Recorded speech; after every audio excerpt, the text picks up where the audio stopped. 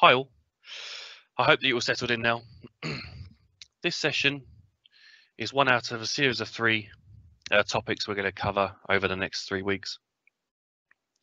Uh, today's topic we're going to cover uh, do your employees know how to identify and avoid external threats? This is going to be delivered by myself. I'm Lee, and I'm one of our senior support engineers, and my colleague Khan Tomlinson, who is also a systems administrator at BCS. Hi, everyone. Across our two roles, we are very exposed as to why educating people on security topics is the key to protecting your staff and company. We come across threats on a weekly basis, and we have both had our fair share of dealing with the fallout of some of the malicious attacks, uh, and we'll go over some of those today. Carl mostly deals with our internal systems, making sure that we have the right security products and practices in place. Whilst I focus more on dealing with customer breaches as they arise and help support customers.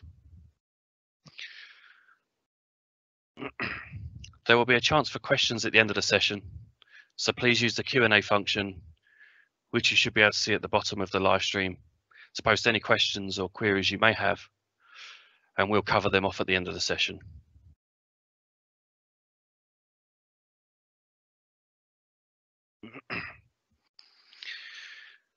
Today we're going to look at covering the following topics, uh, which should hope to give you a better understanding of the risks faced by users when using the internet.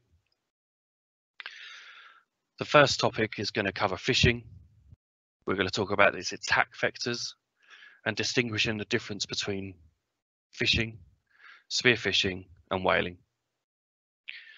These are the more common attack types that you will come across as an end user. Secondly, we'll be looking at some statistics and consequences that can arise from some of these attacks. We also talk about the rising cases recently due to the ongoing world pandemic and how attackers are using fear to manipulate people.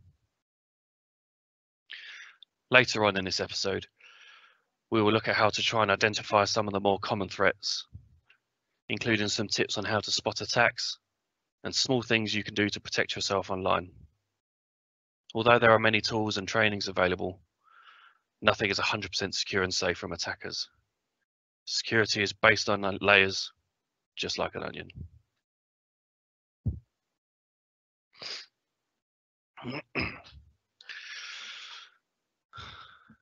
Let's start with going over some of the main types of phishing. The first and most common type is just called phishing. Just as you would fish in a pond. It's just see what I throw out there, see what I can catch. Phishing is very broad and a normally automated process. Phishing is the fraudulent practice of sending emails pretending to be from legitimate companies or individuals in order to trick users to reveal personal information such as passwords and credit card numbers. This is generally a blanket attack with no one specific target in mind. The most common piece of information that they're trying to get from you is your username and password. Not only does your username and password give access to your work account, but you may use the same credentials on other websites, such as PayPal, banking, and other work or personal websites, where you may have used the same credentials or details. most email providers will have some some form of web-based mail. Once the username and password have been revealed to the attacker, they will likely log onto your account and will search for specific keywords in your mailbox looking for confidential information that they can use. On top of the attackers, on sorry, excuse me, let me start that one again. on top of this, the attackers now have now having access to your emails. This will also give them the ability to submit password changes on your behalf from websites that you visit. So once they've gone through your mail profile, it won't be long before they can work out which websites you visit and then request that that password be changed. You will then find out that you could then be locked out of other accounts.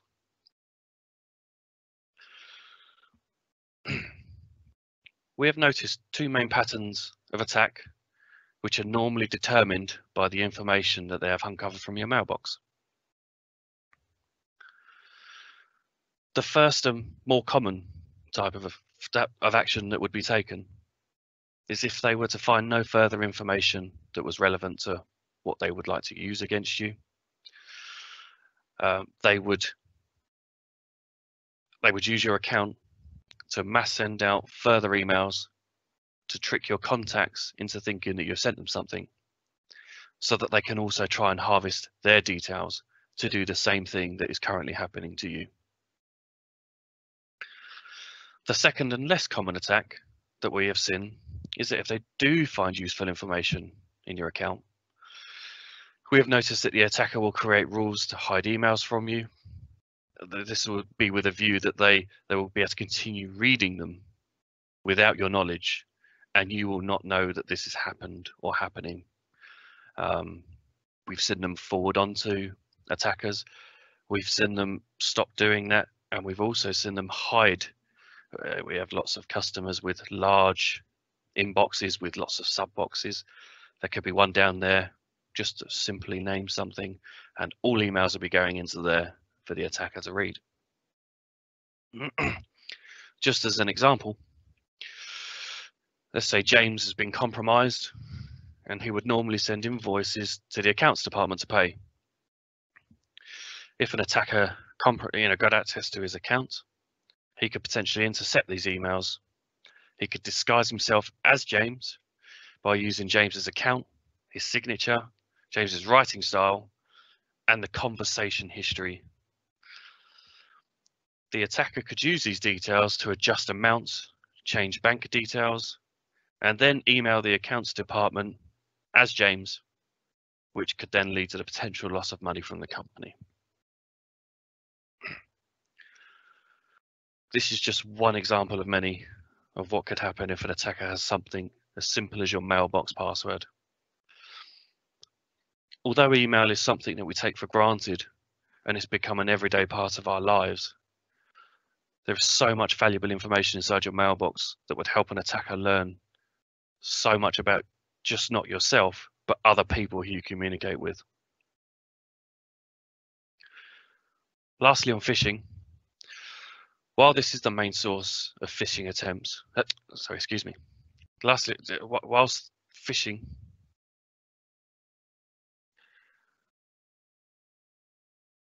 sorry, my words are getting muddled up. Whilst the main source of phishing attempts will normally come through email, You've probably seen them come through other sources such as social media outlets, Facebook, Twitter. Maybe your friends have messaged you saying, click this picture. Just that they, it's not just email where these threats are coming from.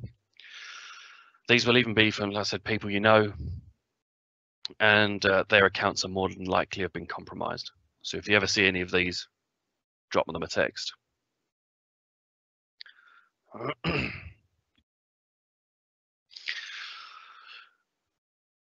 Phishing is such a broad term. Although there are many types, let's focus on spear phishing.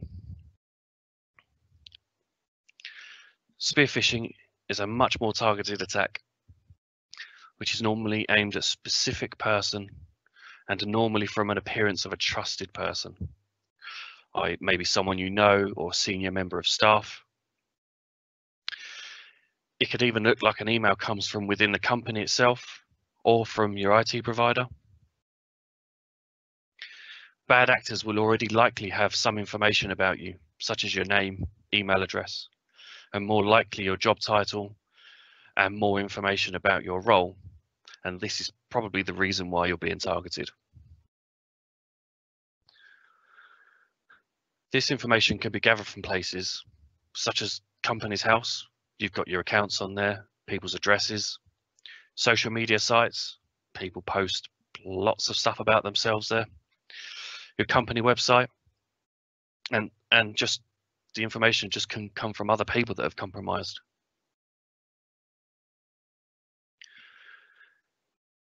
You'll likely be a higher risk if you work in the accounts department or a manager or a senior member of staff, a director. You could be in charge of payroll or you could pay invoices on behalf of your company. At the end of the day, the two main goals of phishing are to commit financial fraud or identity theft. The amount of damage that an attacker can cause can be severe and de detrimental to the company's health.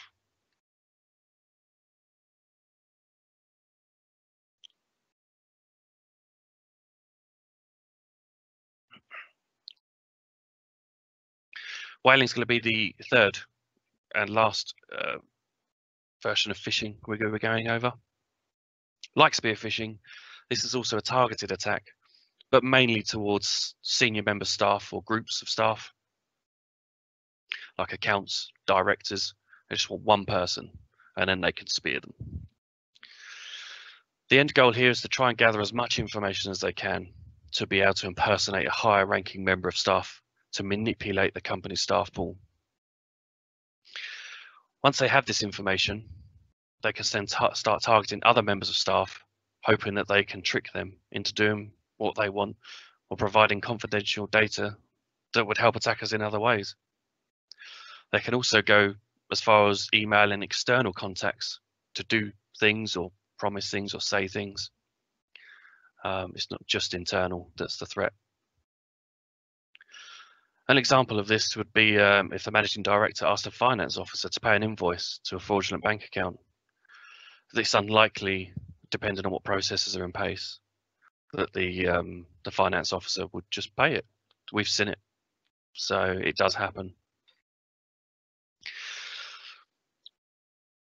I hope this has given you an overview of some of the more common types of phishing and given you an understanding of some of the complexities involved in dealing with one of our main forms of communication, which is email. Con, I'm going to pass it over to you. Thank you very much. Thanks, Lee. Uh, so, so yeah, now Lee's run through those uh, the types of phishing. Uh, we just want to run through some statistics to show why phishing is is such a big threat to your business nowadays. Um, the, the two graphs on screen were taken from the government's 2019 cybersecurity breaches survey. Um, you can see on the left-hand side, um, it, it shows you the types of attacks that have been experienced by organisations within the last 12 months. The answers range from fraudulent emails or being directed to fraudulent websites down to unauthorized use of computer networks or or servers by staff. Um, as you can see, the top answer by far is fraudulent emails or being directed to fraudulent websites, demonstrating that phishing is such a huge threat to your company. Second on the list is impersonation via email or online, suggesting that spear phishing is the second biggest threat to a company. In fact, looking at the top four answers, the chance that these attacks initially originate from some form of spam is extremely high, with malware most likely to be delivered by email. The same companies were also asked what the single most disruptive security breach that they had experienced in the last 12 months for their business. Um, and again, the top two answers were, were phishing related, um, as demonstrated by the graph on the right hand side the reason that these would have been so disruptive for the companies is that there could have been some form of data loss, uh, which would have to be declared to the ICO as a result of a GDPR breach. Uh, consequently, there could be a loss in customer trust. And also, don't forget that as a result of one of these breaches, there's likely to be some sort of financial loss as well. Um, all the while, members of staff that were breached are out of action, whilst the IT department cleans up their accounts, uh, you know, locks them up, makes sure their machines are clean,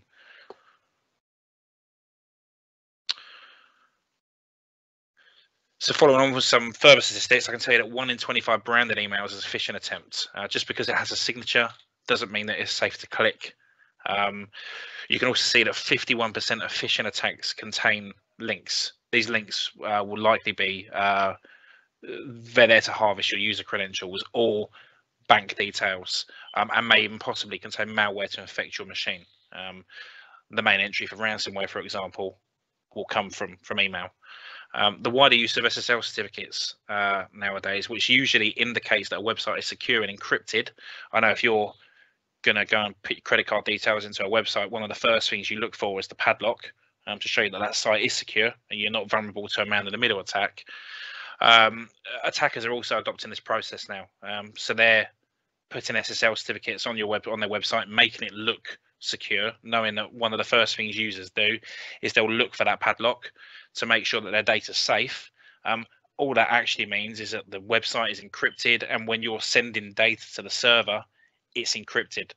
Um, but that doesn't mean the destination where that where those details end up is secure. If it's going to end up in a malicious database, great, it got there. It wasn't intercepted mid traffic, you know, mid transport, but they're now stored in in some malicious database. So, so the padlock itself doesn't doesn't mean that it's safe. And you can see that 58% of phishing sites use SSL certificates. The most common type of malicious attachment uh, are usually Office files. Um, it'll most likely be a Word or Excel document.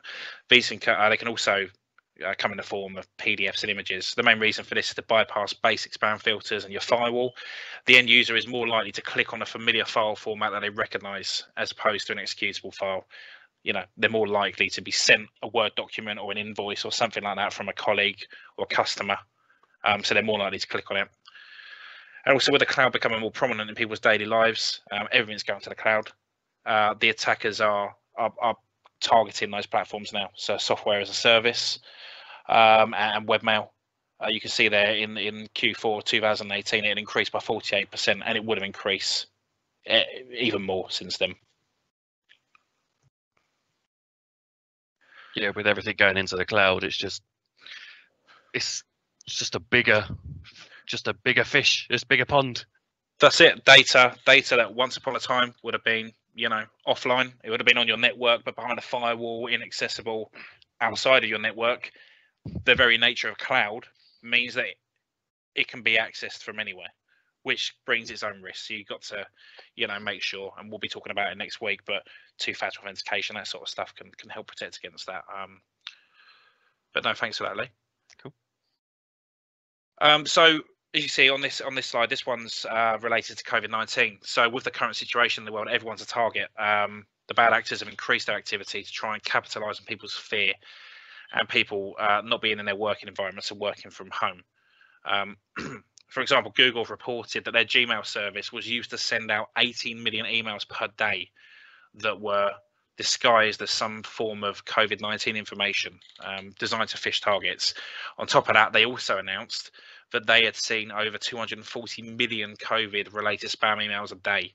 Um, they may not have been phishing related, but these could have contained a malicious payload such as ransomware um, or purely designed just to spread misinformation. You hear fake news a lot in the media at the moment, um, but but it's just to spread the misinformation and fear, which can also cause confusion for the end user. So when they're trying to decipher what's real and what not, what they should click on, what they shouldn't, it just muddies it. Um, and also, with more people working from home, communication software such as Zoom and Teams are more being widely used from ever to share all sorts of confidential information. I'm sure you may have heard of the Zoom breaches recently in the news. Um, but the National Cyber Security Centre have announced that they've noticed an increase in attacks against these platforms. Uh, it shows how rapidly the attackers are, are, adapting their approach basically to the current situation and looking to exploit it. Um, they were they were pretty quick quick on that. You know, we we saw examples when the government was talking about locking down. We saw examples ourselves really quickly of these emails that were coming in. I think people don't people aren't used to Teams. So if they get a Teams email from with an attachment saying this is the Teams meeting, it's That's just it. new to them, isn't it? So they, they might they might just they, they don't know what that should look like. Yep. You know, and and they, they click on it, it comes up a page or into your details, and you know, for you know, they've, they've been hacked as a result. So or they've clicked on a link and it's actually you know encrypted their their laptop and all the linked network drives and you know you've got restore servers so you really have to be careful um, so on the next couple of slides, I just want to show some examples of COVID-specific emails that are in circulation at the moment. Um, the image on the left demonstrates a phishing email that's designed to look like it's from the government. The email plays on people's current money concerns and uncertainty, offering them a tax refund. We know the government at the moment are um, offering schemes like self if you're self-employed, you've got the furlough scheme. So there is a lot of um, money being given from the government, um, and, and, they know that. So they've dressed the email up to look like it's from the government, offering you a tax refund. To be fair, I don't think they're giving tax refunds, but if you didn't know any better, you might be tempted after seeing the news, knowing that governments are, you know, helping people stay afloat.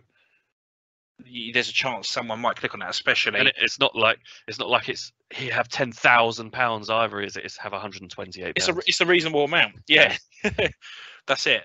Um, and the likelihood is uh, the, the, user will click the link and be res- rep, uh, presented with a replica government site asking them to enter their bank details so they can, you know, pay the refund. In actual fact, you know, five minutes later, their bank account's been emptied. Um, so if you ever receive an email like this, I would suggest calling HMRC. If you think you may be entitled to something like this, call HMRC and find out whether or not you were entitled to something like this, rather than clicking on a link from an email. Definitely don't do that. And on the right hand side, we've got a fake email that appears to be sent from the World Health Organization. You can see the attacker has even gone to the length of purchasing a domain that includes WHO in it.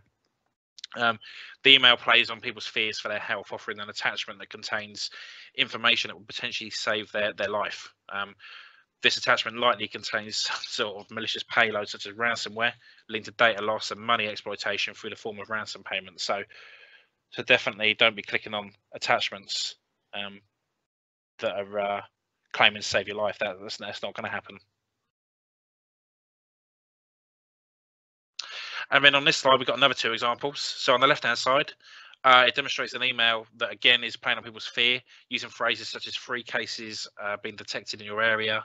Um, you know, it makes it local. It makes it, you know, it, it hits you. It makes it feel real. The email then offers you a chance to see local high-risk places via the link below. However, uh, although appearing to be very harmless initially in a simple email, the link doesn't point to where it's supposed to. When hovering over the email, you can see it doesn't go to the .gov website that's listed.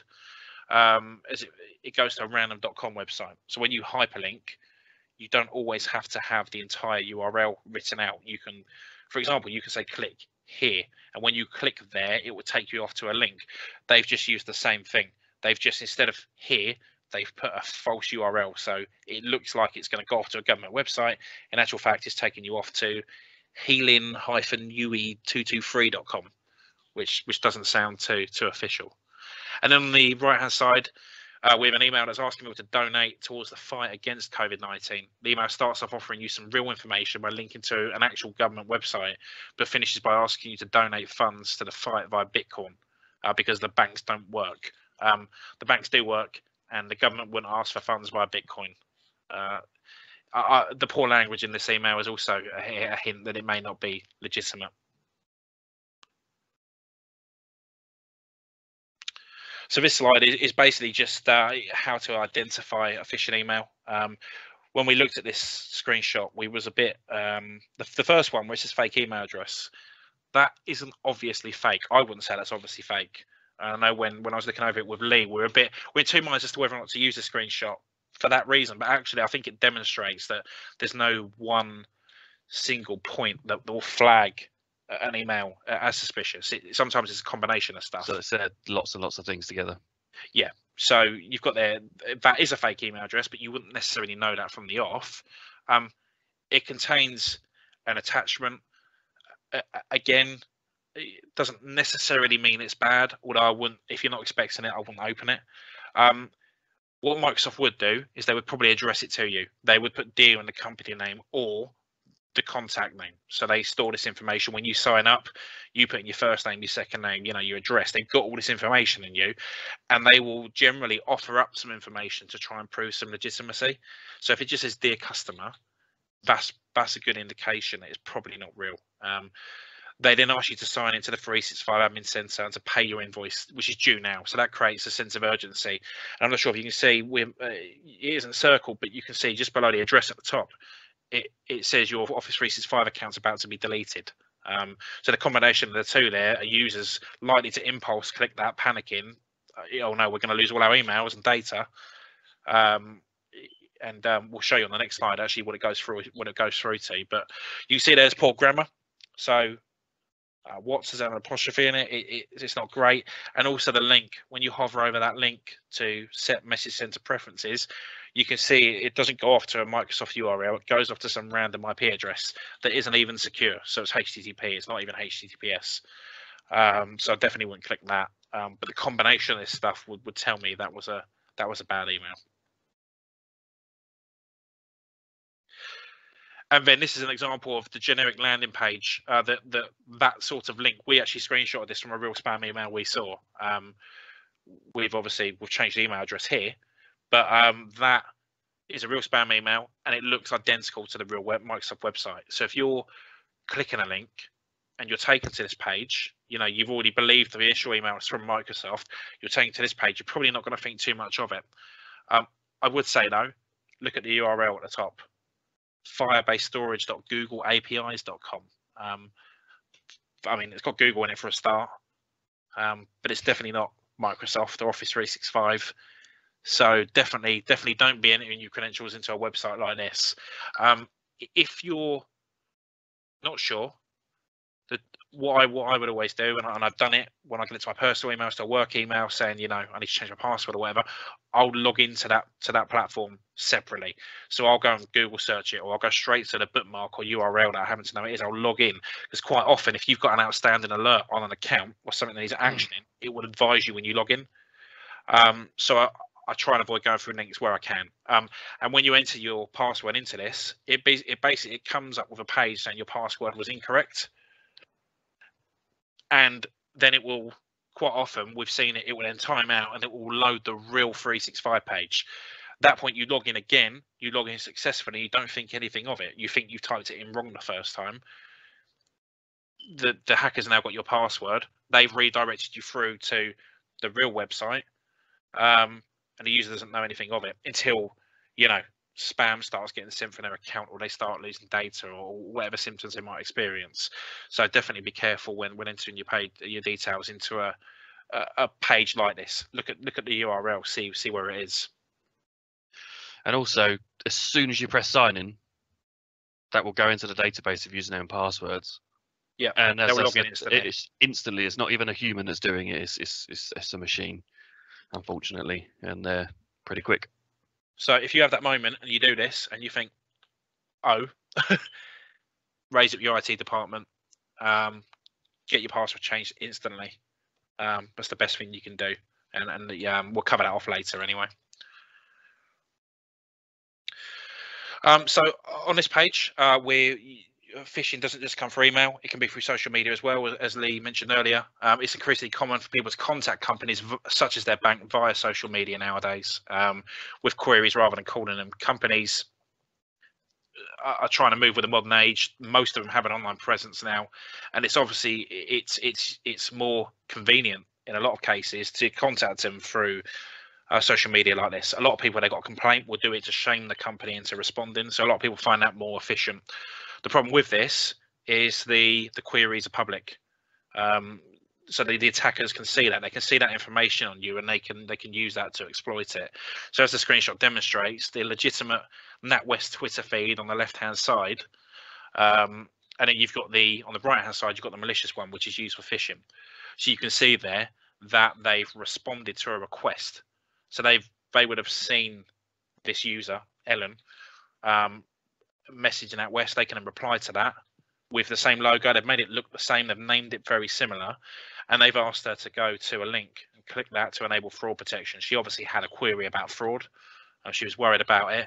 So she's likely receiving this response to click it. You know, she started the query after all. You know, it must be the right person. She's going to click the link. She's going to put her bank details in. She's giving them away. Um, so definitely be careful with that. It's not just email. Social media nowadays is a is a big one. Uh, you can also you can tell if you're not sure, you can click on it. You can see that it's got one follower, whereas the legitimate one has eighty three thousand. Um, and also the little blue tick helps to show that it's a verified account. So Twitter have taken the steps, or or NatWest have taken the steps to meet Twitter's verification process to, to prove that they are who they say they are. Um, so just just be mindful when when giving away details or clicking links that you are dealing with the correct account.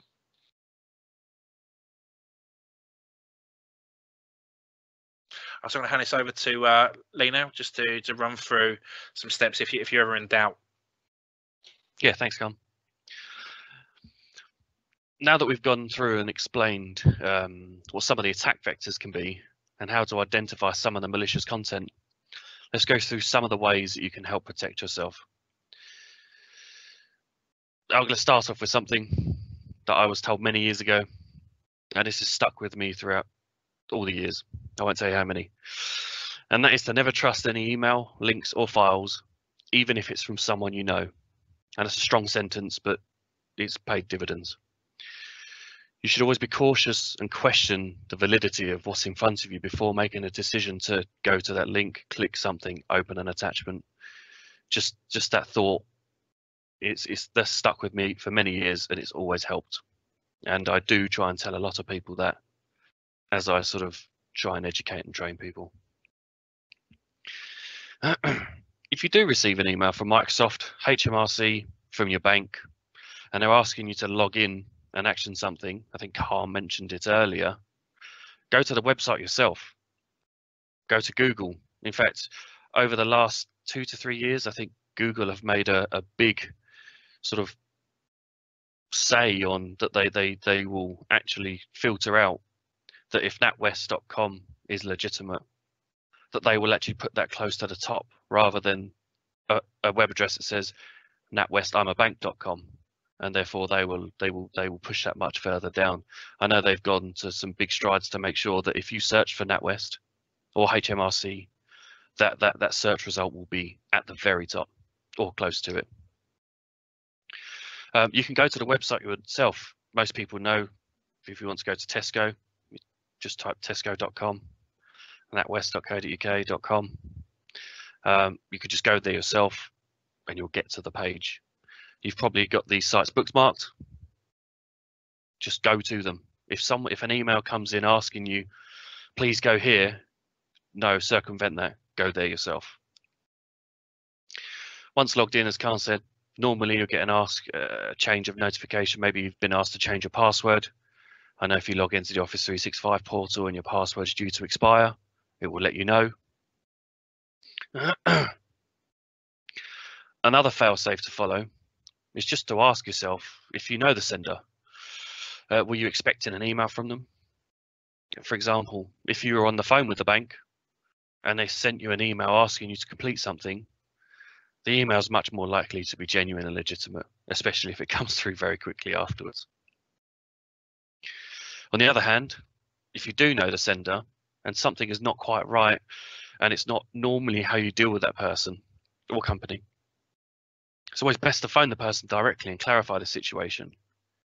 Did you really want me to change your bank details and send your next month's wages to that bank?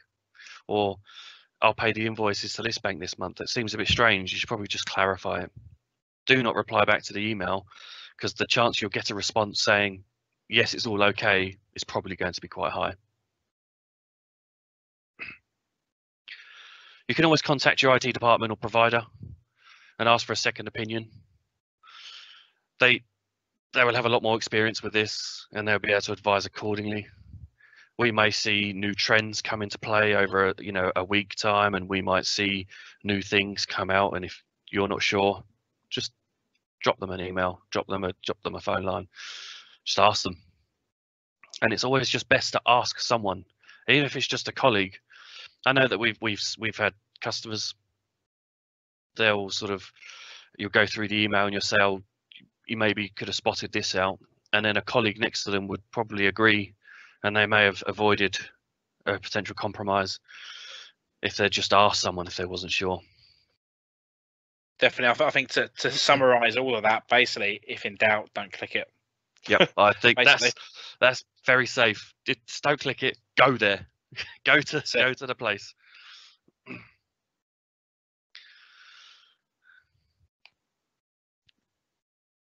Unfortunately, things happen.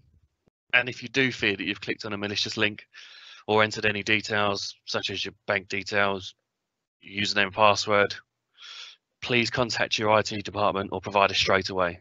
Don't think, just don't think about it, just do it. And please be honest with the person that's trying to help you because they're, they're trying to help you and they want to know what you've done, in what order, more than likely, uh, and what exactly were the steps you took to get where you were.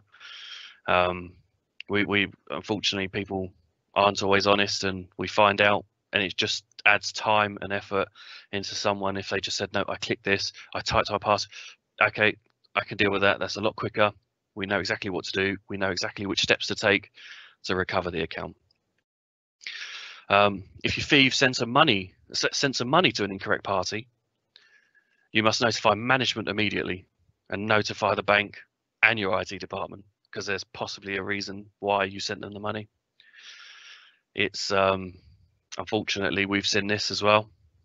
Um, it's not great, um, but it does happen, especially if just phishing is such a big part of compromised accounts.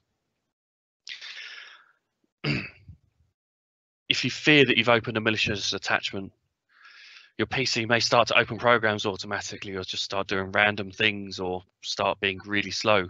We've seen all sorts, to be fair. There is no one, I've clicked this malicious attachment and it just started doing something. There's no one, I can't tell you exactly everything is going to happen.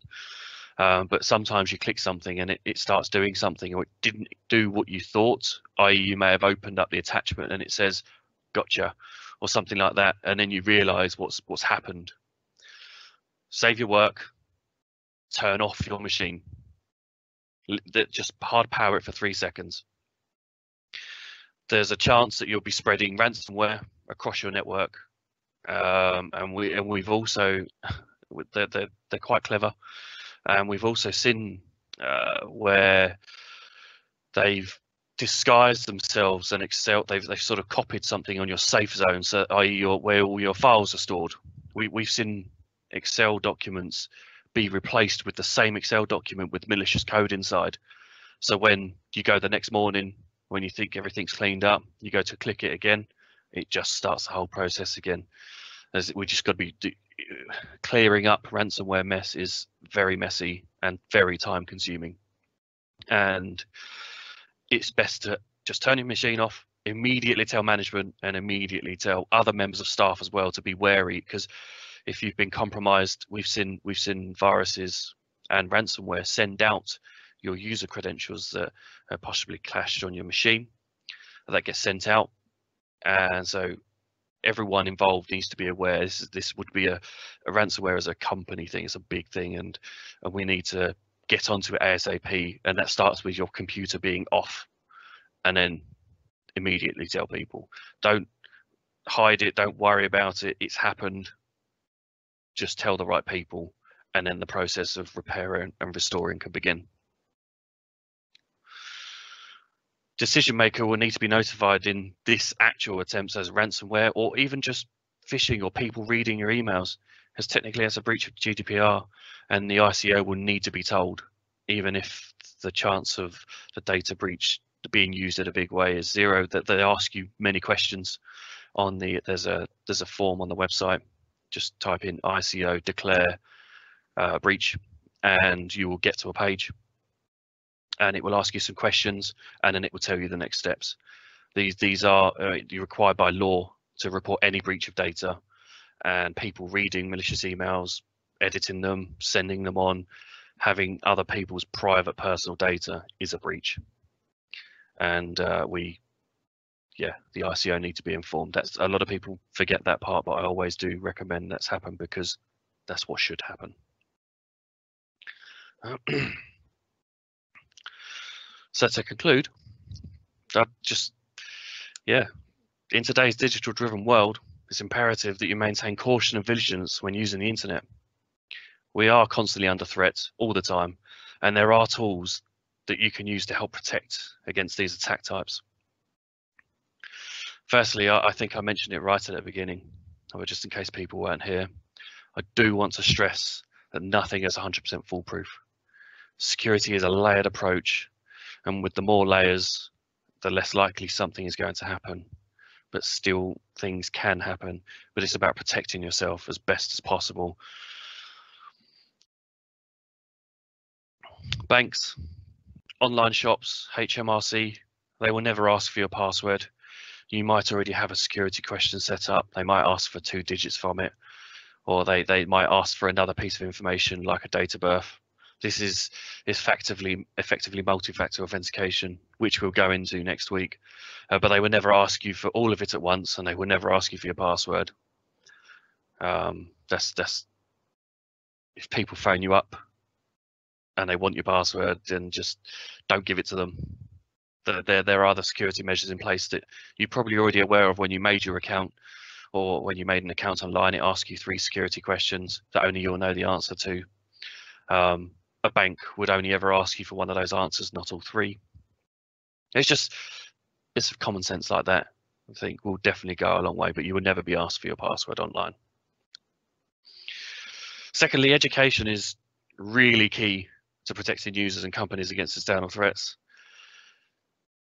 BCS do offer a cybersecurity training course, uh, which you can email BCS Learning Zone at bcs365.co.uk, and someone will get back to you with any queries or questions you need answered. But um, we do tend to find that the, the end user is the weakest part of any security system, which is why they're targeted so much. And uh, yeah, things things do happen, unfortunately. Uh, in, in, fact, in fact, BCS also do offer security products in various packages, various forms that are molded to what companies need. Uh, again, please email us so we can arrange appointments to go through and analyze some of your needs and maybe answer any concerns or maybe offer advice. And, um, and we could talk about security and maybe look to implement a plan, just just something that suits what you need or what you want.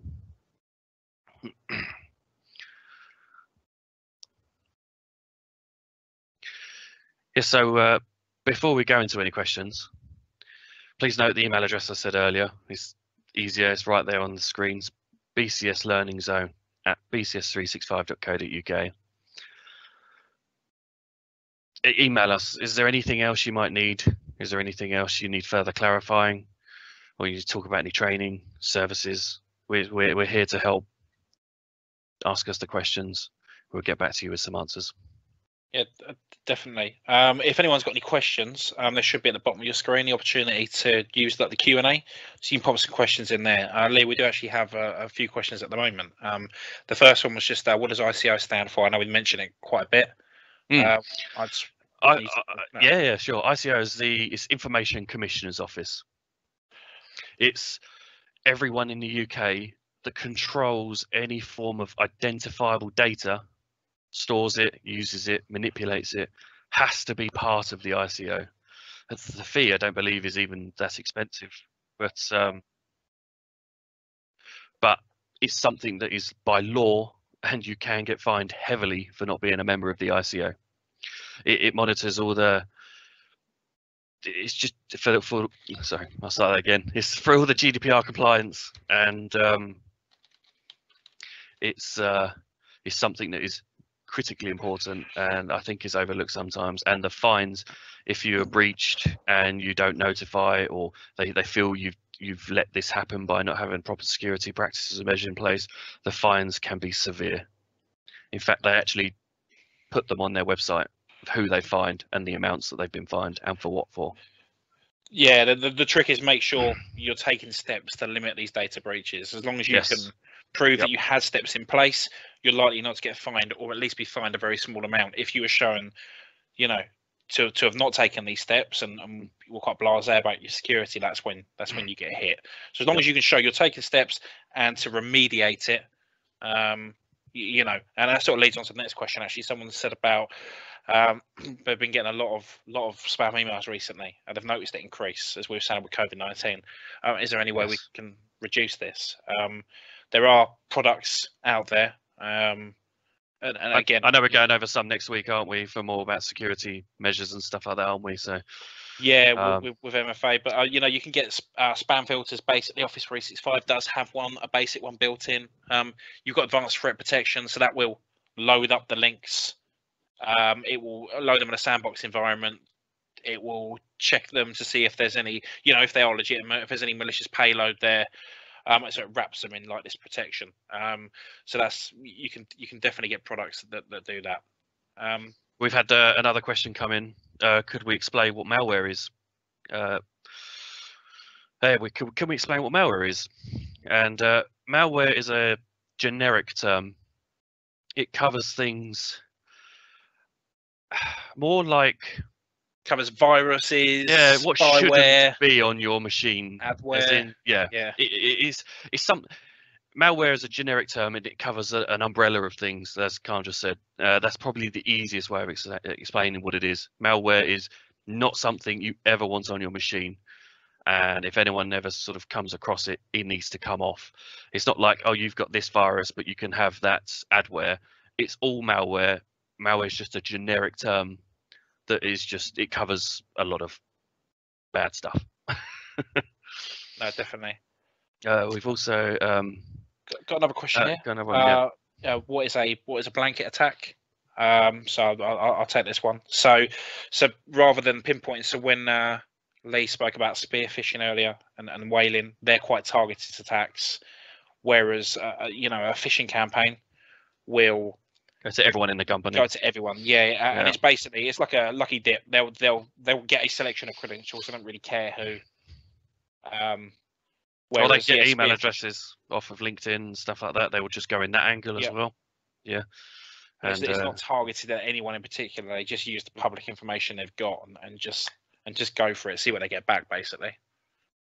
And all uh, companies have got confidential data that they don't want anyone else. Yeah. That's it.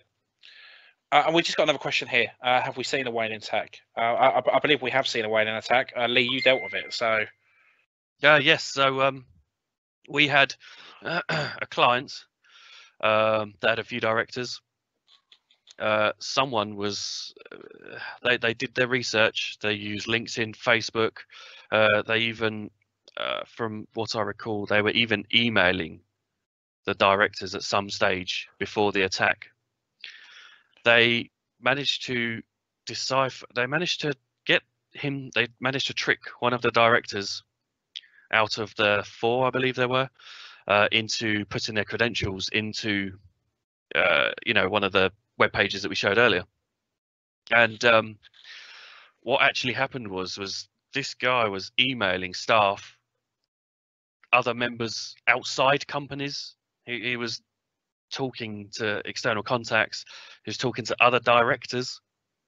Just because the amount of history of the way this person talked uh, so it started off as a, as a, as a, like I said, let's go for the big whale. Let's, let's, we just need one of these directors. There's four of them. Let's get one of them. And that because they're all known on LinkedIn, they're all directors. You know, it's a juicy target. And then once, once he'd got the in, he just, yeah, that was pretty bad. Um, and it's quite scary on how. Uh, to be fair, that wasn't more of an automated. That was that was a person doing that and um, it was quite scary. And yeah, uh, definitely to be avoided. so definitely, yeah. I- Um, we, we put we put so much information on social media, and I personally, uh, I'm not a fan of that. But there are there is some information out there about me, and the more information you have out there, or that you know, it, look, it looks good, and it's a, you know, it's good to talk to people and stuff. But that's also can be used against you. I think, uh, yeah, Okay, so we've got a uh, another question here. Uh, if you have email on your phone, how safe is the security on the phone? Um, it, it, it depends really. It depends on how you got your phone set up, and it depends on, on what sort of how you've got your email set up. So, best practice would be, especially if you're looking at going for a cyber essentials or, or, or something like that, um, you would you would want to enforce encryption on the phone. So Office 365 or Exchange level, so your mail server, you can enforce criteria um, that says if you want to use emails on your phone, you have to meet this set of criteria. The phone has to be up to date. You have to have a eight-digit PIN, for example. The phone has to have encryption. The phone can't be jailbroken or rooted. Um, so it, it really depends. It's if you're using Office 365 um, and this stuff's in, in, in place, it's it, it's secure. It's secure anyway. Uh, but we, we would definitely recommend, you know, you want a pin on your phone. You know, if someone picks your phone up or biometrics, if someone picks your phone up, you don't want to be able to access your phone. The phone should be encrypted. If you've got an iPhone, I believe iPhones, unless you tell me otherwise, Lee, I believe they're encrypted by default now, and I believe modern Androids are as well. I mean, it used to be a choice, um, Yes. I believe they're encrypted out of the box now. Um, So generally speaking, unless you've got your PIN code or you know, or your your, your biometrics, your thumbprint, or your you know your face ID, I on your- your face ID, yeah, yep. yeah, unless you've got your face, you're not going to be able to see the emails. If someone plugs into that phone, it's it's a load of jumbled up data. Um, so phones aren't aren't generally speaking, insecure. Like I say, you can force it at, at server level, um, but most phones nowadays are are, are, are secure, definitely. So, um, does anyone have any other questions or anyone need anything clarifying? No, I can't see any more there. Just double check. I, I, I think we're done. Uh, the, who, whoever asked about the uh, the email on the phone is that has that cleared that up? I, I don't know if I think you can respond to the question that was posted. If it hasn't, you know, Drop or- us an email. Yeah, send us an email and we'll be able to clear it up there. Yeah, and uh, I think this is going to be available for people to share along their, with their colleagues, isn't it, Khan? They'll be recorded. Uh, yeah. yes, so they can- be emailed out after. Yes. And um, yeah, please spread it around. And Like I said, education is key.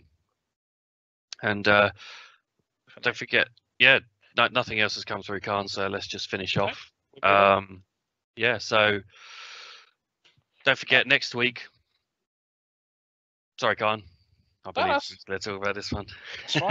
Uh, oh, we just a clarity. Yeah, yeah. So, so yeah, no, it's okay. It's clarify, that's Thank you. Excellent. That's great. That's great to hear. Um, yeah, so session two next week, uh, same time, another hour. We're going to be covering off multi-factor authentication and how it can help with secure accounts. It ties in with today's uh, uh, session, basically.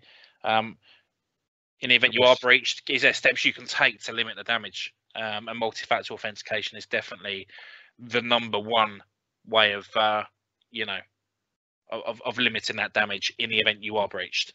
Um, definitely. So, so make sure you you tune in for that. and we'll, we'll I think we're going to sort of show how some of it works. Yeah, uh, gonna give it a on, on screen. We're going to give a demonstration on how this works, and um, yeah, I think uh, it'd be, it'd be interesting. Definitely. Well, Cool. thanks for joining us, and uh, hopefully see you all next week. Yeah, thank you very much. Bye.